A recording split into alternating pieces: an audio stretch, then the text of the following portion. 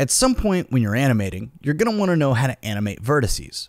For this video, we've got this shape here, and if we go into edit vertices mode, you can see all the different vertices that we have that we can move around, reposition, um, we can even uh, rotate the handles here to create different curves. Now we can do this in design mode, but we can also do it in animate mode.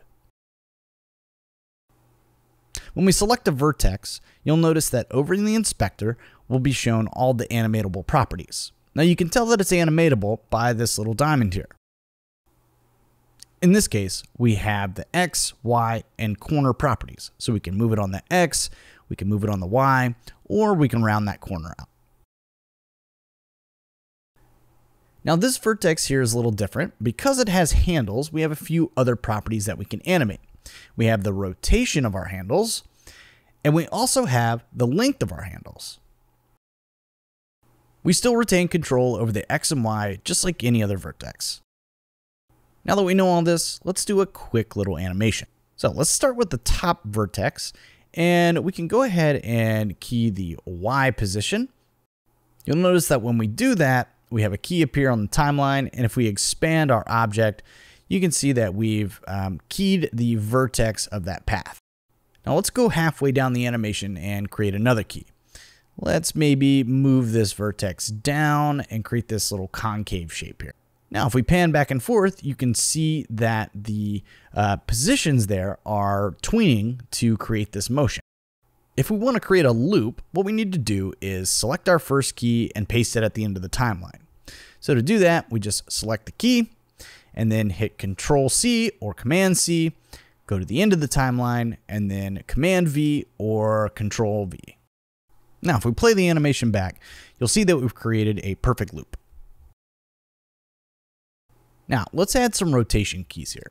So we're going to select this vertex and use this rotation parameter. And the first thing that we're going to do is just go ahead and key the initial rotation. So we can use the diamond here. And as soon as we hit that, you'll notice that the rotation appeared down in the timeline. Now we can go to the end of the timeline and go ahead and key that position as well. So now the rotation is going to start and end at the same spot. So we don't have to copy and paste that key. Now let's key a different rotation here in the middle of the timeline. And when we play the animation, you can see that the change is applied and we have this sort of wave looking animation. Now, by default, we have linear interpolation set on everything. But let's go ahead and change that to cubic and see how this changes the movement. Now, one really useful tool that we have is this key all vertices option. Now, what this is going to do is key all of the properties for all of our different vertices. You can see we have a lot more uh, keys here on the timeline than we had before, and we can expand these keys to see all of the different properties that have been set. Now, one thing to be aware of is that by doing this, you are creating quite a few keys. While useful, this can add some weight to your file that you might not be expecting. So it can be useful to use this at the start of an animation. And then if it's convenient enough, go back and just make a pass and delete all of the useless keys that you don't need.